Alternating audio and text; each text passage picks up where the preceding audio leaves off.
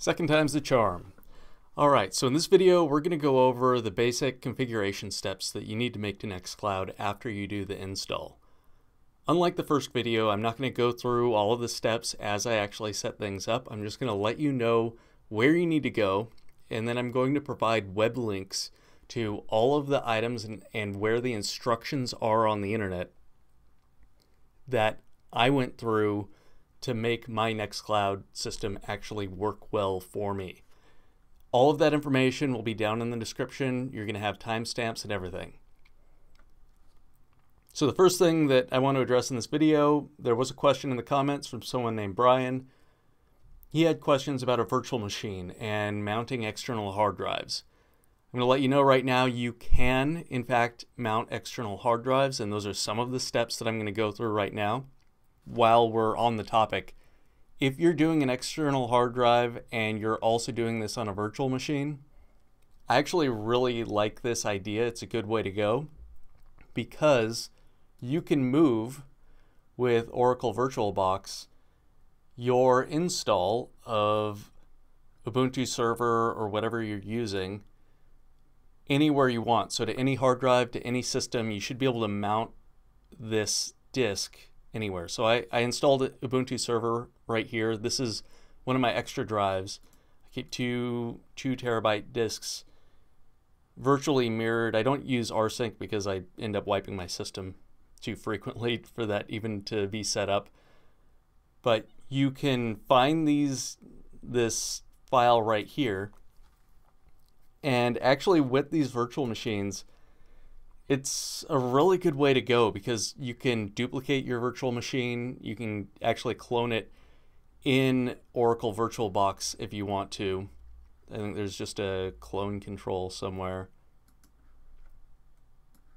Pull this up right here. So you can actually clone these drives if you want. And then you have a dev environment you can work with or a staging environment, especially if you want to do something like a PHP upgrade, which you have to do basically every year based on the roadmap. So that's a really good way to go. I would just drop that on your five terabyte disk in response to that exact question. Yes, you're going to lose a little bit of performance when it comes to loading the CSS and HTML when you're going from a spinning hard disk, but really when you're navigating around these files, if you're going to put the files on the spinning disk anyway, most of your performance is, is going to be reliant on those documents. So just drop that file or, or tell VirtualBox to install on your external hard drive and you should be good to go.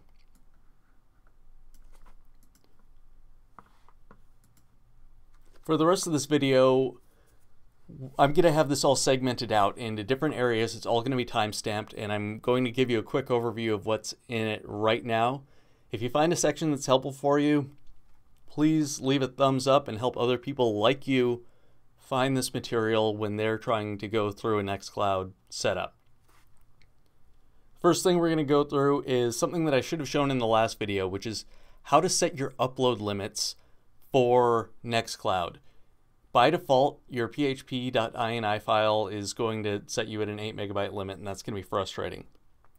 Second thing, we're going to hop over. I'm going to show you where the security section is and where the errors are that you're going to need to resolve for any kind of security issues that your system might have. I'm not going to go through that process. It was way too much of my life to, to recap. I'm going to go through and show you how to do dynamic DNS routing and what I did for making sure that I could always target my home network. I'm going to show you how to change the root location for Apache so that you don't have to type in your URL through your dynamic DNS provider and then do the forward slash Nextcloud to dive in and log into your system. I'll show you the basics of how to install an SSL when you don't have access to port 80. So in my case, Cox has that disabled. In upon reflection, I think it's actually a good idea to have port 80 disabled just because there's a lot of security issues there. I'll show you how to auto mount the hard drives. That's the exciting stuff. That's the stuff that I was actually asked about on the last video. And I'll go through my cron tab and give you a basic overview of what's going on. Uh, part of that cron tab is mounting the hard drives. I decided not to go with Open Media Vault. Some of it is backups, and then there's also a little section in here that I think is kind of cool that I want to show you for temporary file sharing. Finally, I'll close this all off with what still needs to be done with the system and then what I would do if I were to do this install again, if I were going to set up a different system. So let's just jump right into the material and I will show you how to change the upload limits on your PH in your php.ini file so that you can upload files larger than 8 megabytes. Okay, so the first thing you're going to want to do if you're running headless, then you're going to want to putty into your system and then you're going to navigate over to this file right here. It's Etsy php 7.3. And if we do a quick ls, we'll be able to see that there's two documents in this folder. Oh no, wrong folder. cd to Apache 2. So Etsy php 7.3 Apache 2, and then we'll be able to see what is in here, and you have a conf.d and you have php.ini. What you need to do is, as a super user, so sudo nano php.ini, you're going to need to go through and change a few values in this document. This is what I'm going to put in the description below. It's a link to a help, uh, help page for Nextcloud and it goes through the different items that you need to change in your php.ini file. You need to change the memory limit, the max execution time, and then your file sizes. So I'll just quickly show you how to do a, a search in this document. You're going to do Control W because that's the where is command in Nano. And you don't do that. I exited right on out of there. So where is, and then you paste that right in there. What I did was a control V when I'm in putty, so I need to do shift control V. And you'll see post max size, I changed that. That was 8 megabytes. So I just added the 204 right in front of the 8 megabytes to make it 2048. That's 2 gigs. And you're just going to need to do that where is command to find each of these different items and then set them appropriately for what you need to do in your setup. Relatively straightforward. It should be quick and it's going to save you a lot of frustration. Besides the frustration though, one of the big things with this file server is I'm assuming that you want it to be secure. So for security, I'm going to go through and show you where your security issues will show up once you have an install. In your admin section, you're going to want to go over to settings. Inside of this settings area, you'll see an administration area on the left-hand column. And in this area, you're going to have overview. And when you click on overview, it's going to have a section that tells you about your system security. Some of this stuff isn't completely important, but some of it is critical. And you'll know it's critical because it will be in red font. So you go through there and you're going to search and you're going to figure out how to resolve each of those issues. It's going to require a bunch of time on the Nextcloud help pages. But one of the things that I was able to find, there are some awesome users in this forum. So you will be able to find the answers to stuff. It just might take a while, take a little bit of digging. In the last video, I was showing you that I would log into my system using the local IP address, which was 192.168.1.8 on my local network.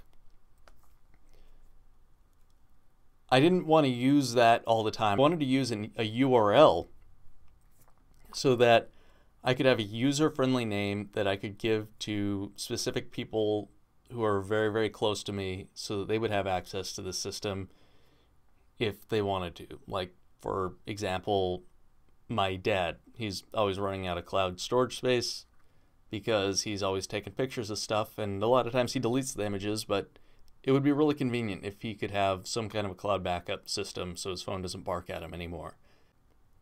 To fill this role, I chose no IP. And a lot of the videos out there are going to recommend that you use something called, I think, DuckDNS. I did not want to go with DuckDNS in part because to sign in, they require different stuff like they wanted me to link the, the system to my Google account and part of my motivation for setting up Nextcloud is to increase my level of independence. Yes, with no IP, I am dependent on this vendor, but instead of going with a freeware version where I am the product, because if you're not paying, then you are the product, I went with a vendor that actually charged. You can have a free account on no IP, but one of the things that's difficult with no IP and setting up a free account is if you have to you have to log in periodically every 30 days within every 30 days in order to continue to renew your domain name.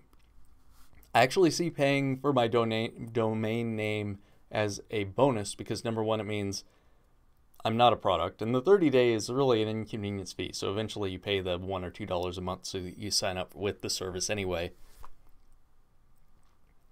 But also with a financial relationship, it's not a one-way dependency. I'm not entirely dependent on them. They're not entirely dependent on me. It's more of a relationship going on. So I went with no IP. And one of the things with a dynamic DNS provider is you need to install some software that identifies your IP address so that they know where to route your traffic to. So in this case, they have documentation in their knowledge base and it is how to install NoIP DUC on Raspberry Pi. It's kind of funny that it's called DUC when DuckDNS was the other provider. Probably not a coincidence. And what you're going to do here is these instructions are extremely simple. You're going to make a directory for NoIP. You're going to go to that directory. So make dir home pi NoIP cd to that directory. You're going to wget to the link here, no IP DUC. It looks like they keep it up to date because there's no version numbers in this link. That was something we went over in the last video, making sure you're downloading the latest version number. You're going to unzip it with tar. And then you're going to change directory into that area with cd no IP. Uh, this, you might need to change this version number depending on if this documentation on this page uh, is uh, up at your time of downloading, which this is no IP support knowledge base install IP DUC into Raspberry Pi. Again, I'm going to leave all these web links into the in the video description so that you will have access to all the documentation you need to set up your system. And then you're going to make you're going to make install and you will be able to log in and set it up. In my case, I think that this system actually did ask me a few questions, but this user guide is extremely straightforward. And if you really want it, I think they have a video somewhere that actually walks you through the steps also. So their documentation is really thorough. I really like this service provider. I'm happy with the people that I chose. In the last video, one of the things that you saw was that what I was typing in on my local network was I was typing in 192.168.1.8 and then forward slash nextcloud. This is not really necessary if we take these next steps. And this is actually one of the things that I know how to do from memory. So if we change directory, we want to go to cd etsy apache 2 and then sites available. We are going to nano into our default conf file. One of the things that you will see automatically that I've done in this file is change my document root. So you can see here var www html. Originally, this was set with just var H- www HTML. So anytime that Apache got pinged, it would automatically direct you into that HTML folder, which meant that if you wanted to go one directory lower, if you wanted to go to Nextcloud, you had to go HTML and then forward slash Nextcloud to navigate down into that directory. By simply adding slash Nextcloud to the end here, I was able to direct all of that traffic into Nextcloud, and now my URL just works simply like you would expect. So it's myurl.com. You type that in, it goes automatically to Nextcloud, courtesy of no IP. So makes things really convenient, user friendly, exactly what you would expect from any other cloud service. Now this may need to be updated if you are installing an SSL certificate as far as the other document that's in this drive. So if we do a simple ls, you can see there's a default SSL conf. I think there might have been something that I did in that document as well, but that's really a good transition so we can start talking about SSL and how to get that installed using Let's Encrypt, which is a free service. As far as their documentation on their website, said, though, it looked like they're an open source project that's run off of donations. So I'm not as concerned about being a product using their particular items. If they ever become a problem, I might start using self signed certificates. Now, the advantage of going with, say, a paid provider over someone like uh, Let's Encrypt is paid providers offer, if I recall correctly, some kind of insurance, which is awesome if you're running an e commerce site because if traffic gets encrypted, if credit card information is stolen, then you are protected. Well, with Let's Encrypt, if my information is stolen, I don't think that the other providers would necessarily cover that because there's no commerce going on between me and myself. I'm just going across data. And if there's anything that we know about insurance companies, they will do anything in their power to not pay. If you're blessed enough to have port 80 unlocked on your particular system, then you'll be able to install an SSL certificate using just a standard install uh, SSL certificate. The process is relatively straightforward. But if you're in a situation like me, then you will need to manually install your certbot certificate. So that's what we're going to go over here is we're going to go into how to do the manual setup. So one of the first things you need to do, you need to add the certbot repository. This is what connects you to Let's Encrypt. So that's what certbot is, is it's their specific software. So this user here has add the repository, Ubuntu or Raspberry Pi. They're going to use apt and then Ubuntu based systems will have these PPAs so that you can add the software. You're going to get an update after you set up the PPA, and then you're going to install certbot. Now, this is the important part. This is the manual challenge. And one of the things about not having port 80 open is normally what certbot will do is it will ping Let's Encrypt and then have Let's Encrypt check that you own your server by pinging port 80. But if port 80 is closed, you can't do that. So you have to go through a manual challenge. So if we take this command right here, I'll show you really quick without actually pinging their server too hard.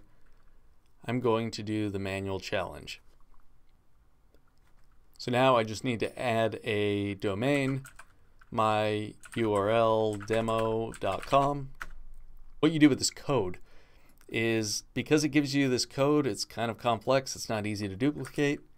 You take this and then you go over to your dynamic DNS provider. This might actually require that you have a paid service.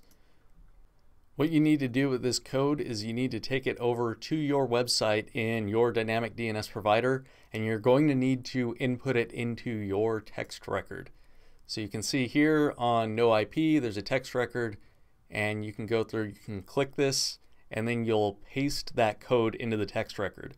The manual challenge isn't easy to do in an automated way, but if you're just doing this as kind of a hands-on thing, it'll work okay. You're going to add that text record. Then when Let's Encrypt actually pings your domain name provider, they will look at the text record. They'll see that you actually do own your domain, and then you will be able to continue with this process just by clicking enter. I'm going to click on enter. I didn't add the text thing on there, so I'll just get a negative point for today for pinging their server when I shouldn't have. There we go. So once you have the, your SSL certificate downloaded onto your system, which is going to be part of this whole process, it's going to give you instructions on how to download it. If it, it might actually download it to your system if if you give your port number. But uh, there's a few other steps you have to go through on here. It's relatively quick. I actually did it on my personal website where I have access to port 80 this whole process of going through the verification through the text process, it adds the step of adding this code as text. And I think there's like one or two other steps that are beyond what you would do over port 80. It's really not that complicated to go through this. This is what's called a DNS 01 challenge. The normal setup is is the HTTP 01 challenge. Once you have these codes downloaded, you will use the web link that I will provide for how to enable SSL in five minutes. Whoever wrote this guide, I think it's Charles's blog. Yeah, Charles's blog at hallard.me. This guide is awesome. It actually did take me about five minutes to set up, and I had never set up SSL before. So Apache is really simple. My personal website is Nginx that was a lot more complicated to do. Um, so I'll leave that web link in there below. Okay, this was done in 2012, so this document has held up super well over the years. Now comes the part that you've all been waiting for, the mounting of hard drives. I did not use Open Media Vault. I decided to go with just modifying my fstab file. Now I brought this up briefly in the last video. Let's just clear this out really quick and go home. When I start my Raspberry Pi, even when I have items in my fstab file, the drives do not mount reliably. So I'm going to kind of go through the basics of how to set this up and show you what's going on. So you need in your fstab file the part UUID dropped in there. So that command is blkid. What I'm going to do is lsblk here, just so that you can kind of see which drives I have set up for what. BLK ID will give you these part UUIDs, and this is what you need for your fstab file. LSBLK will list all of your drives and make sure that they are all mounted to the files that you want them to be because everything in Linux is a file or a directory. The way I was originally going to do this setup is I was going to have two one terabyte drives, one of which would be backing up the SD card, and then I had a one terabyte disk and a three terabyte disk. And the three terabyte disk was going to back up and take multiple images of, of one of my ones. Unfortunately, the drive enclosure that I purchased is not compatible with Linux, and it, actually it corrupted my system, so I had to install Manjaro in between the last video and this one. So I went with a slightly different setup, where I have one image on my one terabyte disk of my local SD card, I have three images on my three terabyte drive, and then my three terabyte drive backs up this one terabyte disk. So lots and lots of backups. You want to make sure your data is actually protected. Give yourself enterprise grade security and backups. That's kind of the objective what we're doing here. So let's jump into mounting the disks. So we're going to change directories. We're going to go to sudo nano, oh, not change directory. We'll do, we'll just go there. We know where fstab is. It's in etc and fstab.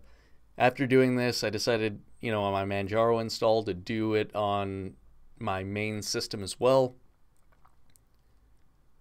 because it's not as robust as as meant as far as the different GUI controls that it has, but this FSTAB setup is pretty sweet once I show you how to mount these external drives reliably. So when we edit this FSTAB file, you'll see that I have the part UUIDs, which I grabbed from here. So 7A152E, 7A152E, and I mounted these to locations. I have a media folder and then backup core.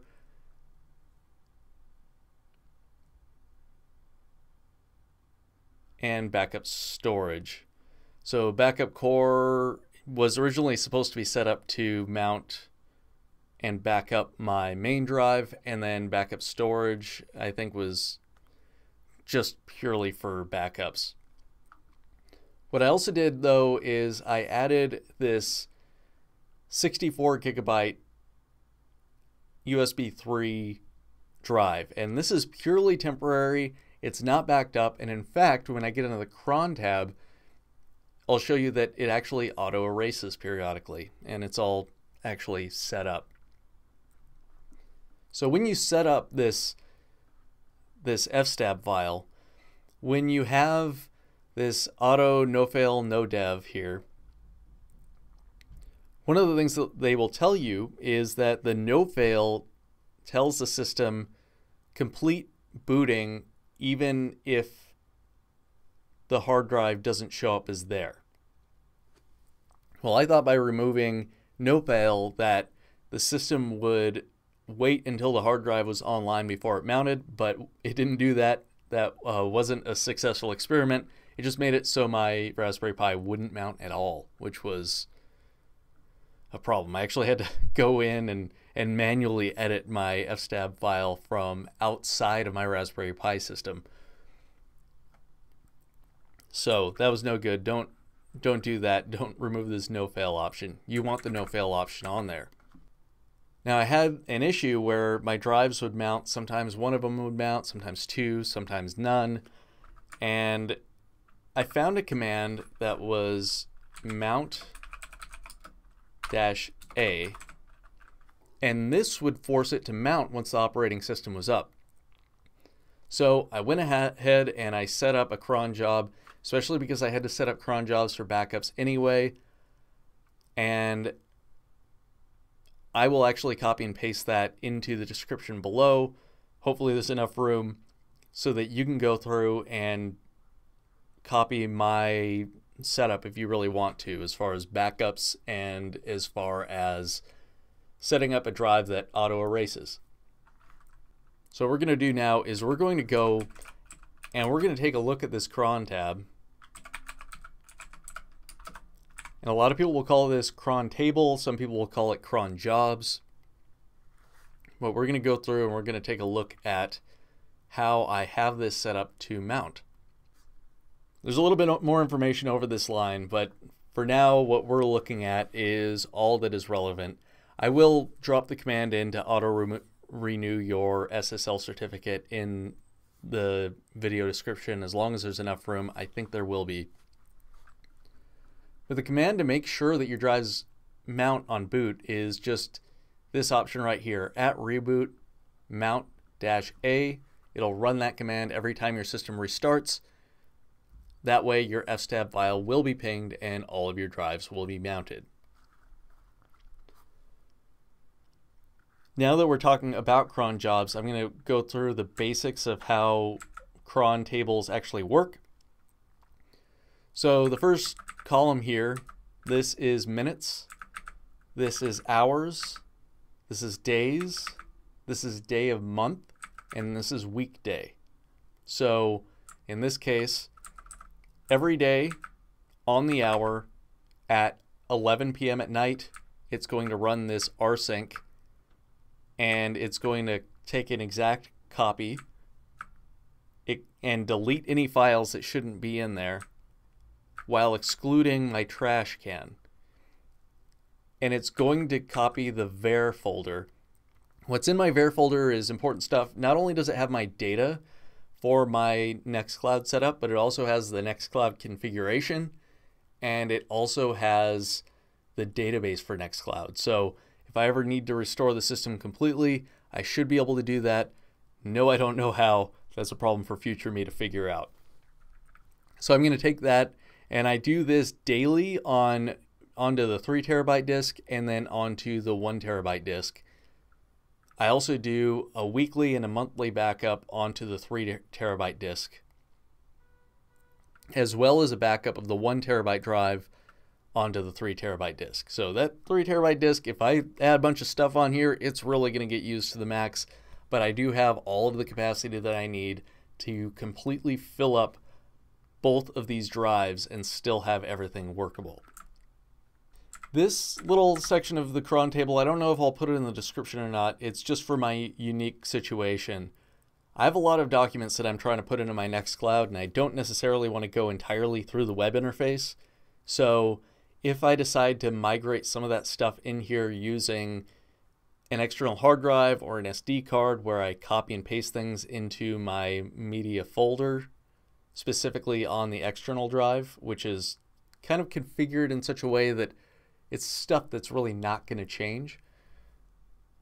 I want to make sure that those permissions get reset because if I move the documents in there using root permissions, those files will be set as created by root and I might not be able to modify them from my Nextcloud web interface. So I want to make sure that my database user has access to that file using these, you know, commands, chown. I, I put both of these commands in the video from before, chmod 750.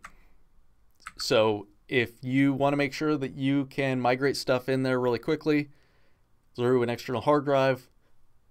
These are the commands that you need to run after you move your files onto that drive. So for this section, this is the area that I have for temporary storage. So I'll just show you really quick what I've got going on. When I go over to files, there is a 64 gigabyte USB 3 disk that's not backed up. And what I did was I called it 50 gig USB drive or something like that. Yeah, 50 gig temporary storage. Really, this drive has about 55 gigs of usable space because of the way that they do hard drive math, which isn't like regular math. So if you click on this right here, you can see there's a few folders. There's one day, one week, one month, one year, and then junk drawer one week, one week, or one day, one week, one month, and one year will delete anything in that folder in the time frame that's recommended. So one day you put something in there, the next day it'll be wiped as long as it's it's over that time limit. Now I didn't select exactly those days. I used magic numbers here. But you can see at 9:11 in the morning it's going to delete everything from the one day folder. At 9 11 at night, once a week, actually a little bit more than once a week, or a little bit less than once a week, we have a few days in there, it's going to wipe everything in the weekly folder. At 333, it's going to wipe anything that's over 33 days old. And then at 1111, every 366 days, it's going to delete everything from the one year folder. So this way you can put things in there, and if you want to, you know, put a fire under someone, like, hey, this file's only going to be in here for a day, then you will be able to share those documents with them and know that you don't have to constantly clean out that disk. I do have the junk drawer. This one doesn't delete, but this is something that I will wipe if anything, you know, happens to pop up. Finally, we can do like a quick review. With these mounted drives that I showed you, anything that goes in the, these files actually it doesn't look like there's a way to properly lock them down unless you lock them down globally. And what I mean by that is if you give someone access to one of these external drives, they will be able to see everything in it. And if you want them to have access to the external drive, you have to give them access to the external drive. So these would be areas that you don't want to put anything in there like uh, a password manager, for example. And the way that I have this set up is this 50 gig drive is for short-term storage. I also have this 500 gig external drive. This has information, my old music library, I have videos, anything that's really not going to change. Most of this stuff, you know, is uh, it's not really secret. You know, I've got stuff in here. It's for my sister's wedding. You know, everyone loves that kind of stuff. I've got just random videos. I've got a scream of videos from different tournaments and classes that I thought were interesting. So everything is in this drive. Your main folder right here. This is where you have more enclosed access to where you get kind of your private space. And this is set up on, of course, the SD card and really the working files. And that's one of the reasons why I have the SD card backed up in two different places is that way I've got triplicate copies so that if my friends and I or my family and I are working on a document and something goes wrong and that gets corrupted, well, that work in progress will actually be saved. Especially with, with triple back backups, it's it's really nice. So I'll close out this video. We've gone over everything from security to convenience to backups and how to mount external hard drives. But I do want to cover what still needs to be done and what I would do differently next time. So the first thing that needs to be done, these, this cron table,